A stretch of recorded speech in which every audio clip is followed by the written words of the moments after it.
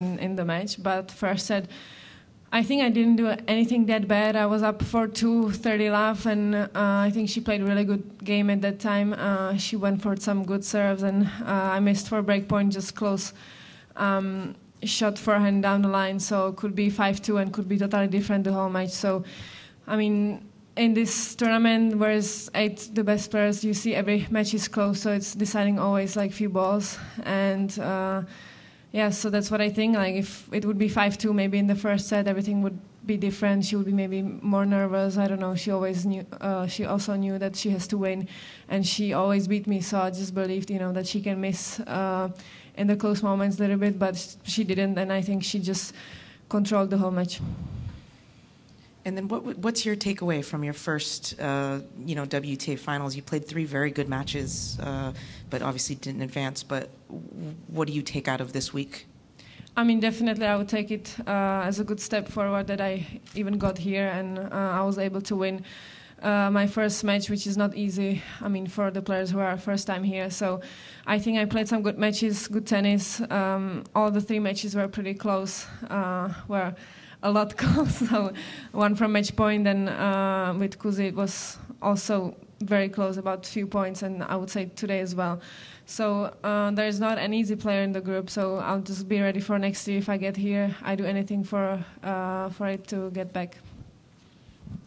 Karolina, after such a great summer swing with the U.S. Open in Cincinnati, how important did you feel it was to come here and end your season on a good note and play some really good matches?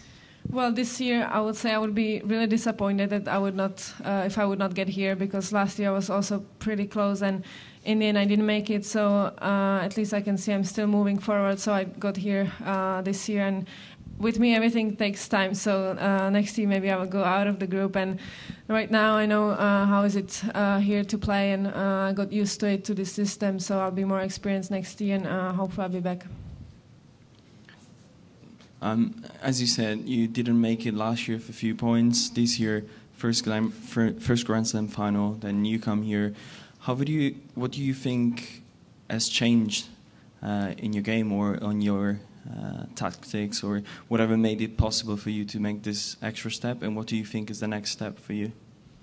I don't think I would change some specific things. It's just some, like I said, some things takes time. So I was working on a few things uh, during the year, and and um, it paid off uh, in the end of the season. So not always, if you work on something, it's working in the next few weeks. So sometimes it takes more time. So that was my case this year, and uh, I was also defending a lot of points in the beginning of the year. So there's kind of pressure for me. It was uh, kind of new situation. So I just think I handled it this year pretty well. I had a goal to stay top 20 this year because I knew it's going to be difficult this year, and uh, I'm going to stay top 10. So I'm satisfied with the year, and uh, I think we improved um, in all my team. We improved a lot. All the things what we've been working on, and um, we'll be back stronger next year. Obviously, everybody else is now talking about holidays, but your season is still yeah. going. How? Um, I appreciate that this is probably dis- disappointing to come out of this, but you've got to lift yourself up for Fed Cup. How easy is it for you to, to do that? Well, at least right now, I can say that there's uh, can be last two matches uh, in the season and in this year. So, um, yeah, I have to get ready. There's no other choice. So I'll just get ready, and uh, there is one week between. So I'll just rest a little bit and forget about tennis for a few days, and uh, then back to the work for um, that's the last week of tennis this season. Karolina, last year in the off season, you played nonstop uh, with IPTL and all the other exhibitions and things like that.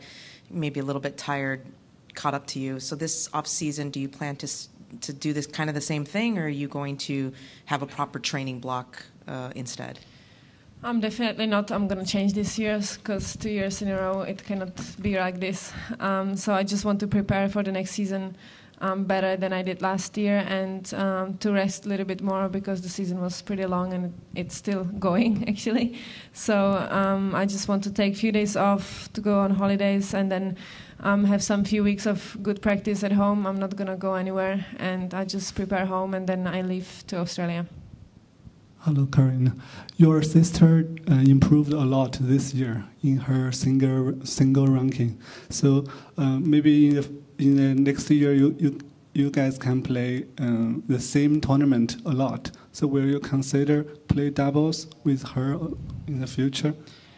Um, I don't think it's gonna happen next year because still um, the ranking is a little bit different, and hopefully in the future it can happen. But uh, right now, I think we just have uh, each um, different ways, and there are still um, different schedules for us for both of us. So it's different to uh, so it's tough to sometimes put it together somehow. So I'm just happy that I'm gonna see her more often and that she's um, back in top 100 and she's gonna stay there for a while. I hope and she can even improve the ranking. I'm sure about it, and uh, then in the future we'll see about doubles.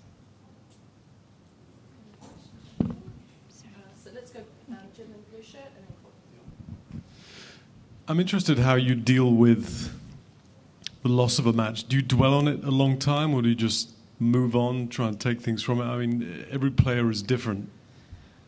I would say also every match is different.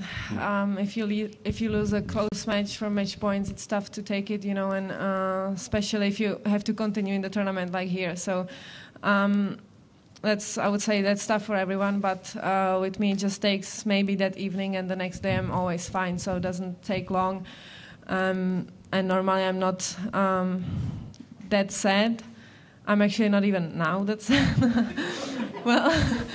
No, um, no. I'm always trying to take the positive out of everything. Sometimes it's obviously tough, but um, there are worse things in life than losing a tennis match. I would say. Karolina Kristyna, I guess, posted some photos from her current Yeah. holiday. I mean, what's that like to see your sister taunting right? you? Yeah. What's it like to kind of? I mean, is she? Everybody else is going to be hopping off on holidays, and you gotta gotta get ready for Fed Cup. What's that kind of yeah, like? but once it? I'm on holidays, she's practicing, so I'm gonna pay it back to her.